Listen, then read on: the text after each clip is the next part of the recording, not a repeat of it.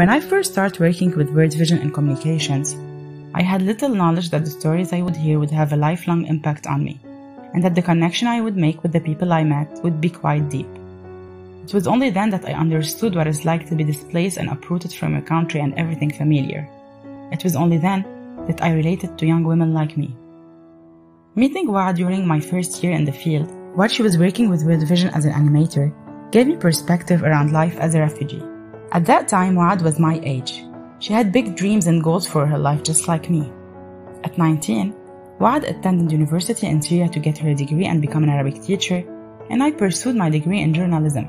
I made it to my graduation and Waad didn't. Instead, she made it to Lebanon safe from the bombings that destroyed her home and dreams all at the same time. Waad, one of many young female refugees, put her career and dreams on hold, but still clinging to hope and building on her experiences in hopes that one day she would pursue what was paused. Her experience helped me realize that being able to dream and achieve those dreams safely is a blessing, which I have so much gratitude for. Waad's dream is one of millions of dreams that armed conflict tracked. I'm proud that World Vision is providing a window of hope for refugees like Waad through the provision of education, protection, water, and livelihood services.